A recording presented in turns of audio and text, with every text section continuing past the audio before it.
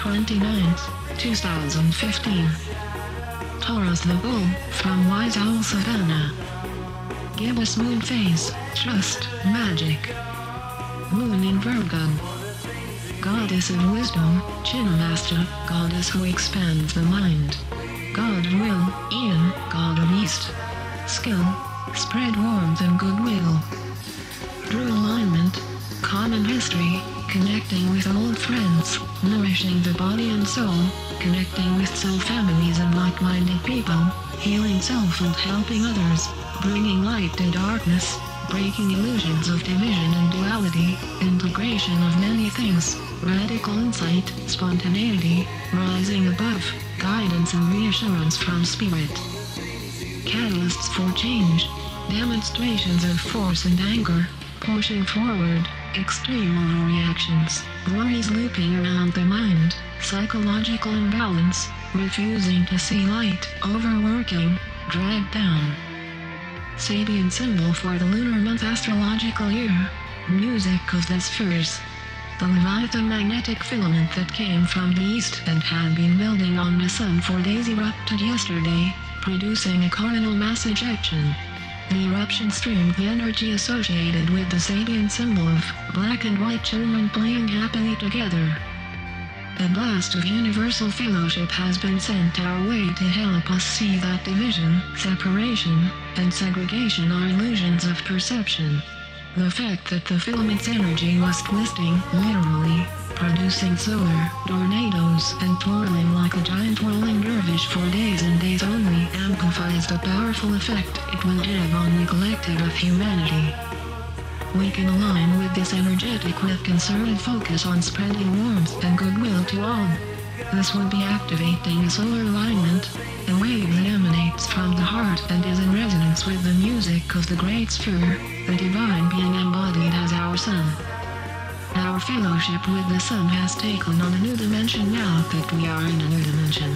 Everyone can participate by maintaining the mindset of goodwill. This becomes a skill when we can practice it against strong odds, like those in place today with astrological aspects today that favor projection of fears, overreactions, and coping difficulties. There is an unhelpful dose of moral righteousness peppered throughout, as well. Today, we reunite, realign, retune, and rebound.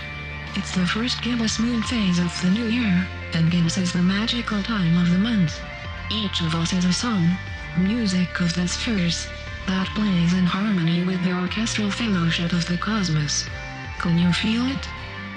Special thanks to Andrew for transcribing yesterday's audio report, which is below. Tuesday, April 29th, 2015. First quarter moon phase. Step out, take action.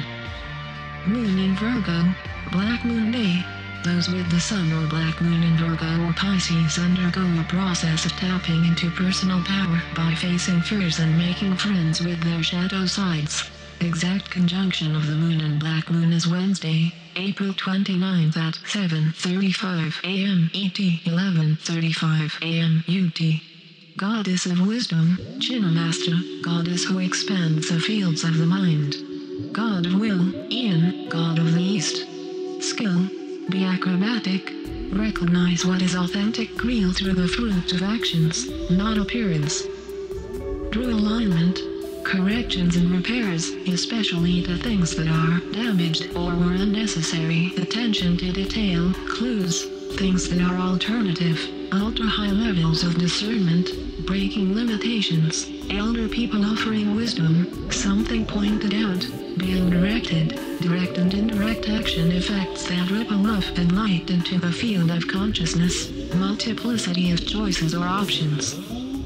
Catalysts for change, causing damage, pretense, covering up, fooling through the focus on appearances, indecisive, difficulty maintaining focus due to the number of things being highlighted and brought to attention, inflexibility when changes are presented, fear of not being good enough or qualified enough, minimizing what one has to offer the world, power grabs, projecting one's feelings onto others. Sabian symbol for the lunar month astrological year, the music of the spheres.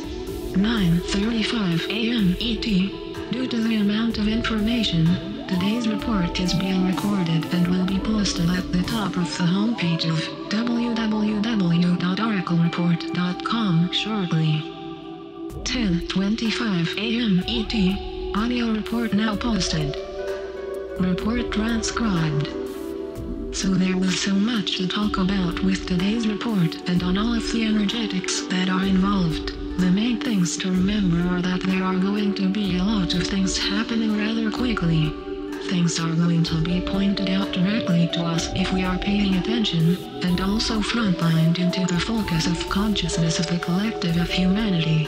It's on heightened alert visually right now and instinctually, because we have shifted into a new frequency, a new level of consciousness, the fifth dimension if you have followed my work in the audio recording for this lunar month. So today this is an interesting setup because we are at the last day of the black moon disseminating the energy of the Sabian symbol for 17 degrees of Virgo, which is the volcanic eruption. And the moon will make its once a month conjunction with the black moon. The moon does this every month with the black moon. And today, well tomorrow morning, Wednesday morning, 7.35 a.m., is the conjunction of that, and so this is the last day of the full energy of a volcanic eruption. And this has been in place since right after the new moon. So it's expanding everything. There is an abundance of choices today and options. There are so many things going on and so many things to choose from. If you are faced with an important decision, you want to look at the fruit of someone's actions what they've produced and what their intention is, not what the outer appearance of something is. Appearances fool today. It's an imprint that the old system is manipulating right now to imprint energies into the field of consciousness. It is six days until the full moon actually into the full moon phase. So keep in mind it's a black moon day so everybody will be projecting their shadow sides, their own fears onto other people. Everybody will, not just people that have the sun or the black moon in Virgo or Pisces. Those folks will have the most intensive experience of the energetic, which could be rather overwhelming and difficult to cope with. So people should engage the skills of the wise owl, and the coping skills of being like the wise owl in the tree watching what's happening. You need to ground stabilize and equalize when the shadow energies begin to come up so so high for us to recognize. So I always recommend going outside and connecting with nature. And that's what will help with all of that. We can release all of those fears. Fear has no place in the fifth dimension. It's disempowered. What works in the fifth dimension is love. So let's talk about how we can use that knowledge to handle the days that are coming up and the period of time that I want to highlight in this report. The main focus and the reason for recording all of this because so much was shown today that projects onto the future. Okay, so we begin the gibbous moon phase tomorrow Wednesday, April 29th at 10.55 p.m. EST. And so the moon will be at that degree phase angle with the sun moving us into the gibbous phase and the moon will be fresh off of this conjunction with the black moon early in the morning. So it's a flooding in of shadow side energy, which brings us into the gibbous phase of the moon. And the Sabian symbol for the gibbous phase of the moon is the flag at half-mast. And tomorrow the sun will be located at the Sabian symbol of Red Cross nurse. And the earth will be located at the Sabian symbol, the Fellowship Supper reunites Soul Comrades Veterans. I don't like the setup that opens the gibbous moon phase of these energetics, especially coming off of the volcanic eruption of the black moon and all that transpired on Earth with that. And the energetics, the intense energetics of the sun right now, that prominence is still dancing and will most likely is going to collapse and produce a hydro flare and a CME and that is a region of energy that has been building for many many days throughout the first quarter moon phase, which is the energy of stepping out and taking action. And it seems to be, it's looking like old systems of the old world order is trying to respond to the energetic. And the opportunities that are implied within a lunar month that is the first of the year. The lunar month is equivalent to one long new moon phase, so everything that's inserted during that month everything that's tried or even tested, or balloons that are being sent over. Any type of imprint or intention into the field has energetics that play out throughout the remainder of the astrological year. So we watch everything that's happening very closely and announcements about the reserve currency last week. They're seeding a lot of intentions into the field. Well, the gibbous moon phase that begins tomorrow on the 29th will contain this energetics. The Red Cross nurse, a flag at half-mast in front of a public building, and a fellowship supper reunites old comrades veterans. I don't like the setup for this and the energetic and the pretense and fooling by appearance false flag. May 5th, 7th is highlighted. There will be a grand trine between Pluto, the Black Moon and the Sun. But keep this in mind. We have expansive energy happening and one element contained and this is the signature of Thor's hammer within this dynamic. And this is the special signature within astrology that talks about will and drive. It's also called God's fist. You can look it up. It's a quadriform. This says that all of the intentions that are being put in place the seeds that are being put in place this lunar cycle to be unrolled the rest of the lunar year won't work because basically Thor's hammer is in place to maintain alignment with what is the reality of the fifth dimension which is manifestation of consciousness that is based within love nature and value of life. If it is contrary to that then it isn't going to be successful. But it will be tried because there really is no alternative for the other side is a quick overview of what is going on.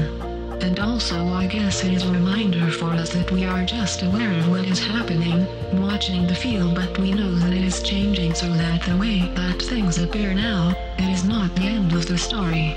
This is a process in motion, a transition in effect. So be aware of what's happening. We maintain our grounded connection to the planet. We always keep it real. And observe. So I hope you can tune in when I am on Phoenix's show tonight. And we will talk more about this and how this is playing out in the geopolitical scene. So I hope you can join us then. Thanks everyone. Note, I will be Phoenix's guest tonight, Tuesday, April 28th, 10 p.m. Midnight 87 9 p.m. PT on Phoenix Rising Radio on Roost Frequency Network to discuss the latest. Hope you can join us.